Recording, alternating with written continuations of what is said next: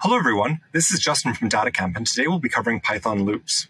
We're going to go over while loops, for loops, and advanced techniques such as breaking and continuing a loop. We're going to be using DataCamp Workspace, which is an online IDE where you can write code, analyze data collaboratively, and share your insights. If you'd like to follow along in this exact workspace, you can follow the link in the description below and register for a free account. Now, the first type of loop we're going to cover today is a while loop which will repeatedly run a block of code as long as a condition is true. It follows the structure of while, and then the condition followed by a colon, and then the code to run on an indented line below. We have a simple example set up here, which initializes x to be zero, and while x is less than five, it will add one to x and then print the value. To run this, I'm going to click inside the cell. I can click run or use a hotkey. I'm going to use shift return to run the cell and it is run five times, each time adding one to x. And when x reaches five, it is no longer meeting the condition of being less than five, and the loop terminates. Now we can customize how this behaves uh, by adding if and else statements to the loop. So let's again uh, write our condition if x is less than 5, but this time let's make x negative 5. And if x is greater than or equal to 0, we will again say x is equal to x plus 1.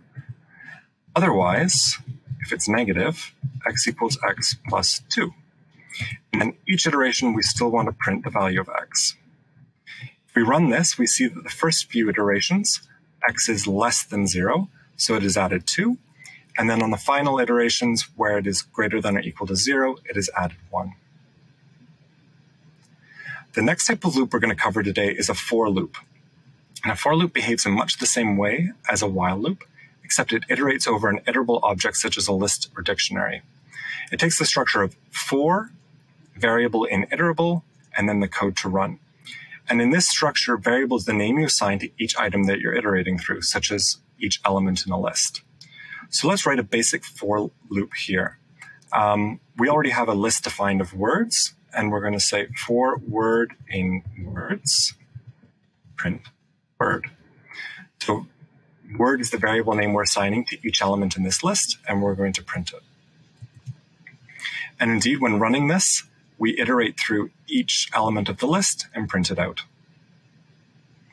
Now, another technique you may want to use is to print um, or to run a loop a certain number of times. And to do so, you can use the range function. Uh, so here we're going to write for i in range, and then we pass in the number of times we want this to run. So we want it to run five times. And we're going to print this is run. And then we're also going to print out the value of i. Indeed, this runs five times. And as you may notice, it starts at zero because Python is zero indexed.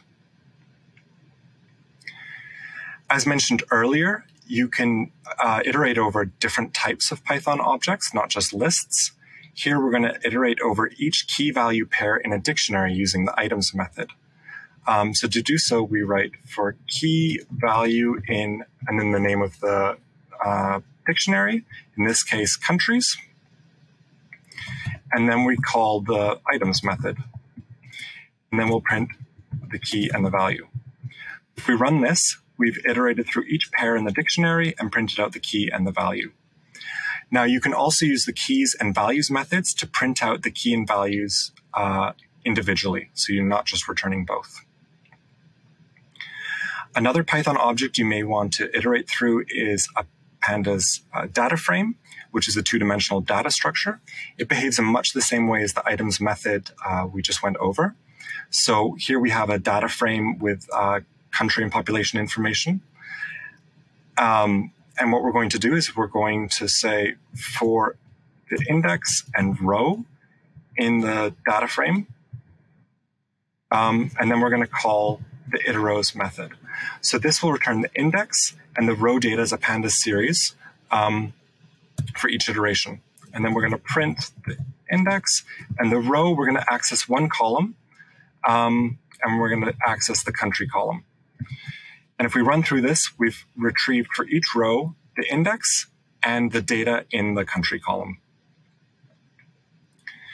Now, sometimes you may want to control a loop um, using advanced techniques. And one such technique is to use break and continue. So here we have a list of duck, duck, duck, duck, goose, duck, duck. And what we're going to do is we're going to iterate through each bird in this bird's list. And if the bird equals goose, we are going to use the break statement to terminate the loop. And then we're going to print the bird. And what we'll do is, if we run this, it iterates through each bird, and as soon as it hits goose, it ends the loop entirely. Alternatively, if you just want to end, uh, end the current iteration, we can um, use the continue statement. So let's copy and paste our code from above. But this time, if it's um, if the entry is goose, we're going to continue.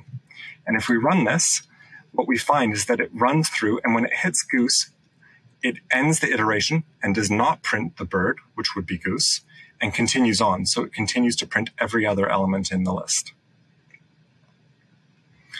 Now, the final thing we're going to cover today is uh, adding an else statement after a loop, which will run a selected block of code after every iteration is still complete. Um, it is still run within the loop, so will not execute if a break is included. So here we're going to say else no goose. So what we're going to say here is this loop iterates through the bird's list. And if the bird is goose, it's going to print found a goose and end the loop. Otherwise, it's going to print no goose. So if we run it now, there's a goose and it'll say found a goose. But if we take this out and run it, it will then finish the iterations. There's no break to end the loop and um, it'll return no goose. So I hope you found this helpful today. If you did, be sure to like and subscribe and check out the other content included in the description below.